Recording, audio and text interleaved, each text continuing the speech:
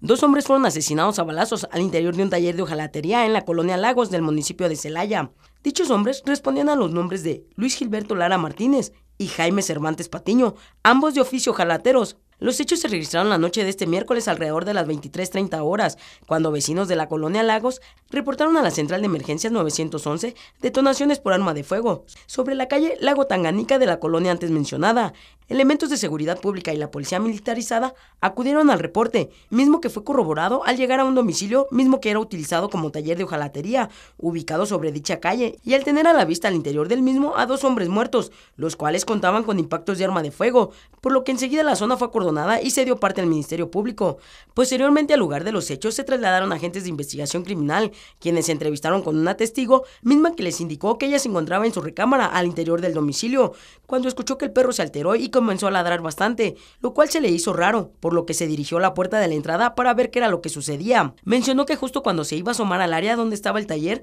escuchó bastantes disparos y ya no salió, se regresó a ocultarse en su recámara, indicó no saber qué fue lo que sucedió. Por su parte, Servicios Periciales informó que en el lugar de los hechos se localizaron casquillos percutidos 9 milímetros y los cuerpos fueron levantados por el CEMEFO y trasladados a sus instalaciones para la necropsia de ley. Autoridades correspondientes ya se encuentran haciendo las investigaciones pertinentes para la pronta identificación de los agresores. Informó para Vía Noticias Rosa Duarte.